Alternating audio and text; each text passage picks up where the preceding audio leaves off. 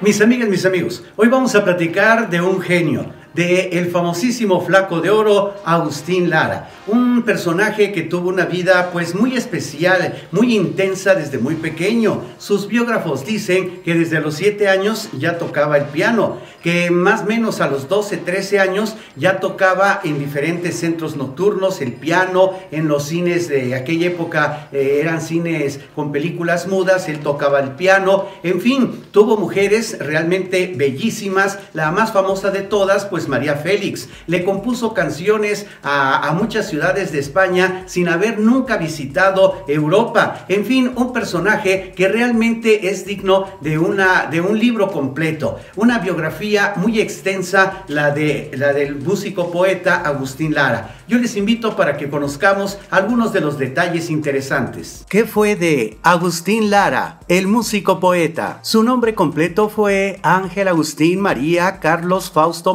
Alfonso del Sagrado Corazón de Jesús Lara y Aguirre del Pino. Fue un compositor e intérprete mexicano de canciones y boleros principalmente. Se le reconoce como uno de los más populares de su época y género, también conocido con los apelativos de El músico poeta y El flaco de oro. Su obra fue ampliamente apreciada no solo en México, sino también en Centroamérica, Sudamérica, el Caribe y España. Luego de su muerte se le ha reconocido también en Estados Unidos, Italia y Japón ha tenido infinidad de intérpretes de ayer y de hoy. No hay certeza sobre la fecha ni su lugar de nacimiento, aunque el músico aseguraba haber nacido en Tlacotalpan, Veracruz, el 1 de octubre de 1900. Lo que sí dan como un hecho es que en 1906 su familia se trasladó a la Ciudad de México y que su padre los abandonó. Agustín vivió con una tía de nombre Refugio. Ahí conoció el armonio, tomó clases de música y a los 7 años ya demostraba una notable habilidad para tocar el piano. Estudió en el Liceo Fournier, pero tuvo que abandonar sus estudios para sustentar su hogar. Desde los 12 años trabajó como pianista en centros nocturnos. Ingresó al colegio militar y en 1917 se unió al movimiento revolucionario, pero fue herido en ambas piernas y regresó a la capital. Durante la década de 1920 trabajó como pianista en bares, cafés y salas de cine mudo. Por entonces compuso la canción Marucha,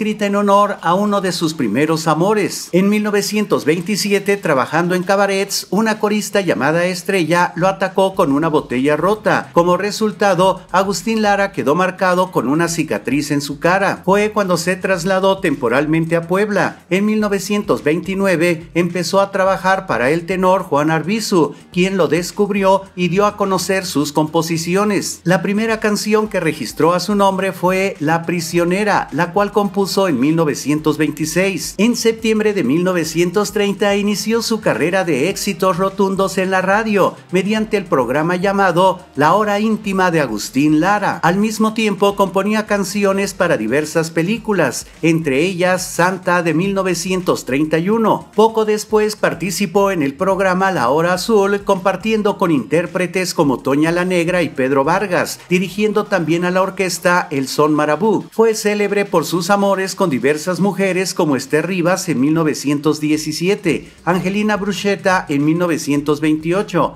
Clarita Martínez en 1949, Yolanda Santa Cruz en 1953, Rocío Durán en 1964, pero lo más relevante de su vida amorosa fue el matrimonio con María Félix, celebrado en 1945. Para ella compuso varias canciones como María Bonita, Aquel Amor y Noche de Ronda, entre otras. En el cine actuó en películas como Novillero de 1936 y Coqueta Perdida de 19 1949, entre varias más. En España su figura era muy conocida en los años 40, recibió diversos honores y condecoraciones en todo el mundo. En 1965 el dictador español Francisco Franco le obsequió una hermosa casa en Granada, gracias a las canciones dedicadas a diversas ciudades de ese país. Lo sorprendente es que Agustín Lara no conocía España cuando las compuso. En 1997 la canción Granada se convirtió en el himno oficial de esa ciudad. Fue aficionado taurino, conoció al torero español Manolete cuando inauguró la Plaza de Toros México, a el cordobés quien le brindó una faena y al torero mexicano Silverio Pérez a quien le compuso un paso doble. Cabe destacar que en la actualidad se encuentra una escultura de Agustín Lara en la Rotonda de las